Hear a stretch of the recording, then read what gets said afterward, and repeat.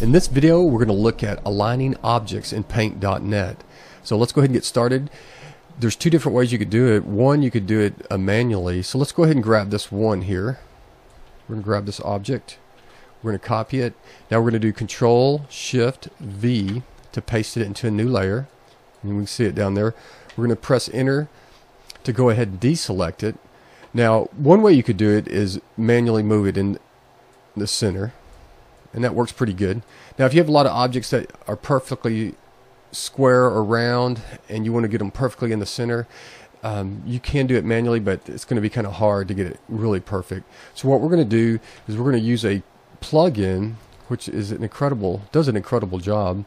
We'll go to Object and Align Object, and here's the plugin, and it's already aligned it. You can align it top right, top left, or center we're going to do center. Now, one thing to take in consideration is some things, um, even though they are perfectly technically aligned, may look aesthetically better if they're off a little bit. So, like this one, I think would look better if it was more aligned in the center here.